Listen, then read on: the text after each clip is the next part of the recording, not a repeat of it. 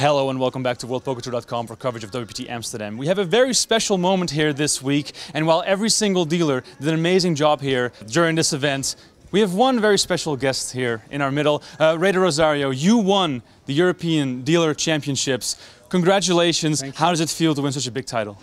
Uh, I'm really honored, and yeah, it's an amazing feeling. I really can't describe it because, yeah, it's, it's yeah, beyond. It's amazing. I'm yeah, beyond happy. Tell me something more about your experience as a dealer and what it takes to win this.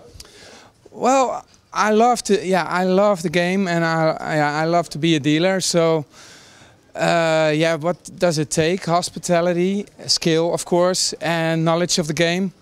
And yeah, that's what I had the best, obviously, because I became European champion.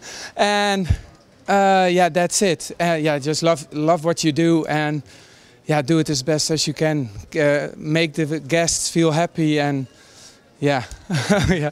Uh, see guests walking by or cheering me on. So sorry, yeah. but yeah, that that's it. Just yeah, be the best dealer you can be, and I'm honored to be the best this year in Europe. So yeah, that's a really good feeling.